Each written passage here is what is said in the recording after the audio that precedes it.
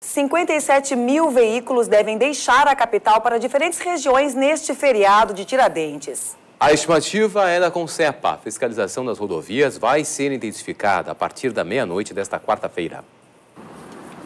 Só hoje, mais de 15 mil veículos devem passar pelo pedágio de Santo Antônio da Patrulha na BR-290, em direção ao litoral do estado.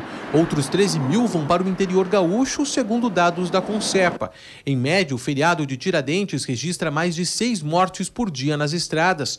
Em 2015, foram 37 vítimas fatais. A maioria perdeu a vida em acidentes ocorridos durante a noite ou madrugada. Mas a expectativa este ano é de reduzir o número de mortes.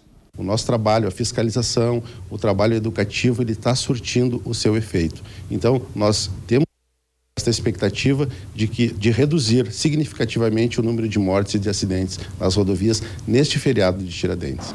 A segurança da viagem não depende apenas da operação.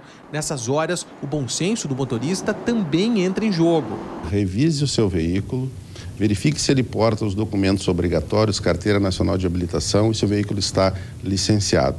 Uh, organize o seu trajeto de viagem, procure dirigir descansado, utilize o cinto de segurança, não exceda a velocidade permitida pela via ou pelas rodovias, né? não ultrapasse em locais eh, que não sejam permitidos. Na rodoviária, o movimento deve ser de um fim de semana normal. Para hoje, é esperado que mais de 25 mil passageiros deixem Porto Alegre em direção ao interior do estado.